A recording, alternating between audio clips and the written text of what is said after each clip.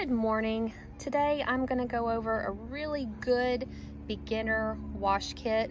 If you're one of those people that you've been taking your car to a car wash and you've slowly been looking into doing detailing yourself, washing your own cars, hand washing, and you haven't bought any products yet, this is a super, super good deal.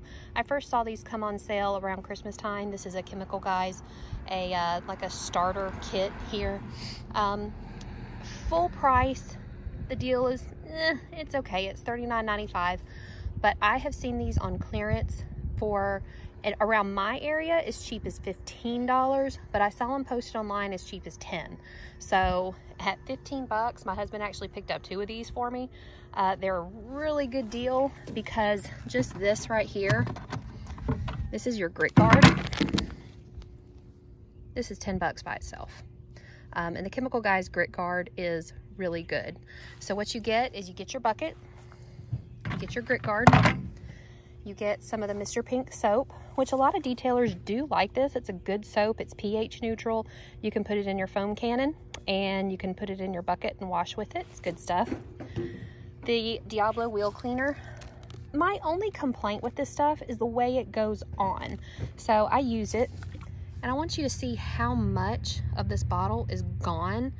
I only washed three times with this. So I used it three times and more than half of the bottle is gone. So it just seems very wasteful to me.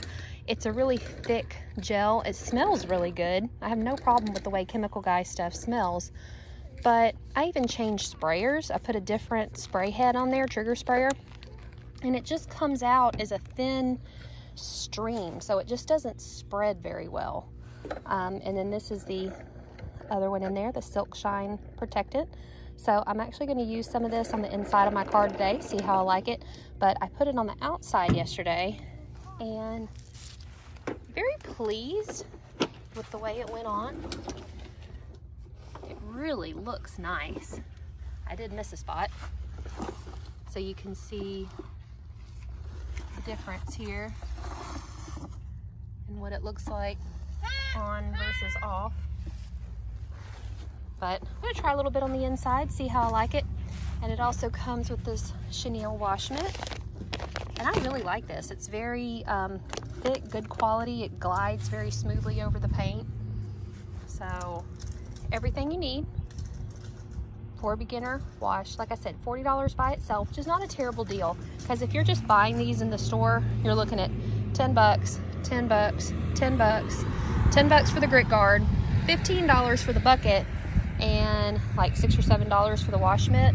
So even at $40, you're still at a pretty good deal.